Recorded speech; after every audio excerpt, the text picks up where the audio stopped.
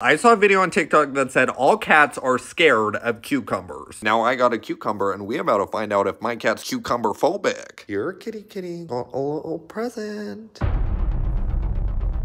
I thought it would be showing slurs. Wait, not him licking it. I'm gonna leave the cucumber with him outside. Let's see what he's doing. Either my cat's an activist or this is a freaking scam.